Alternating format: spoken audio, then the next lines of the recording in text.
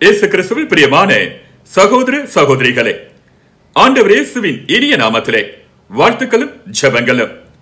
சகோதரி ஒருவர் எனது ஒரே மகளுக்கு ஒரு பெரிய இடத்தில் மாப்பிளை பார்த்து மிக சிறப்பாக திருமணம் செய்து வைத்தோம். ஆனால் திருமணம் முடிந்த பின்னர்தான் மாப்பிள்ளைக்கு போதிய அளவு அறிவு வளர்ச்சி இல்லை என்பதை கண்டுபிடித்தோம்.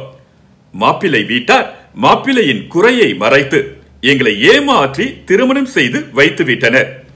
போதிய அறிவு வளர்ச்சி இல்லாதவர்கள் திருமணம் செய்தால் அது செல்லத்தக்க திருமணமாக அமையுமா? எனது மகளுக்கு இந்த வாழ்விலிருந்து விடுதலை கிடைக்குமா என்று கேட்டிருந்தார். அன்பார்ந்தவர்களே லத்தீன் வழிபாட்டு முறை கத்தோலிக்க திரு அவை சட்ட தொகுப்பின் சட்ட எண் ஆயிரத்தி தொன்னூற்றி ஐந்தின் முதலாவது பிரிவு.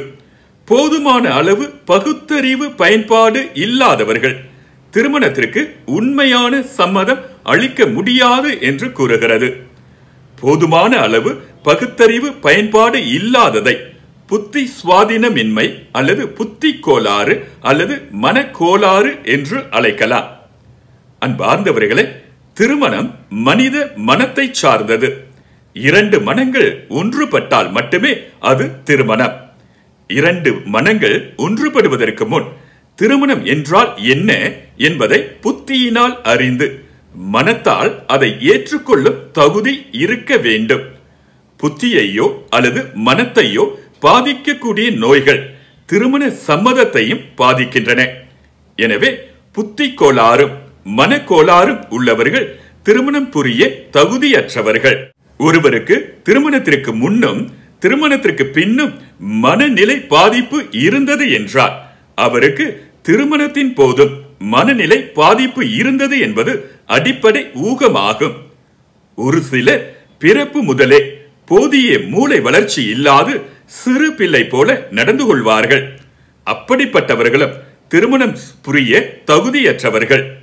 எனினும் திருமணத்திற்கு பின் வரும் எந்த நோயும் திருமணத்தின் சம்மதத்தை பாதிப்பது இல்லை என்பதையும் நாம் கவனத்தில் கொள்ள வேண்டும். திருமணத்திற்கு முன்பு முற்றிலும் இயல்பான வாழ்க்கை நடத்தியவர். திருமணமான பின்னர் மன நோயால் பாதிக்கப்பட்டார். அது அவரது திருமண சம்மதத்தை பாதிக்காது. திருமணத்தையும் முறிக்காது.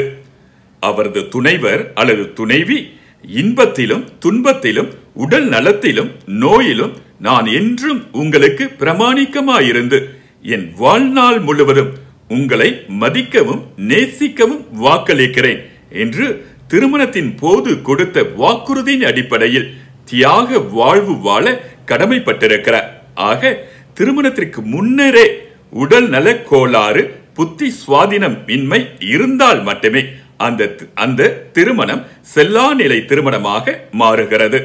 மீண்டுமாக மற்றொரு கேள்வி பதிலோடு உங்களை சந்திக்கும் வரை விடை பெறுகிறேன். ஆண்டவர் இயேசு உங்களையும் உங்கள் குடும்பங்களையும் நிறைவாய் ஆசீர்வதிப்பாராக.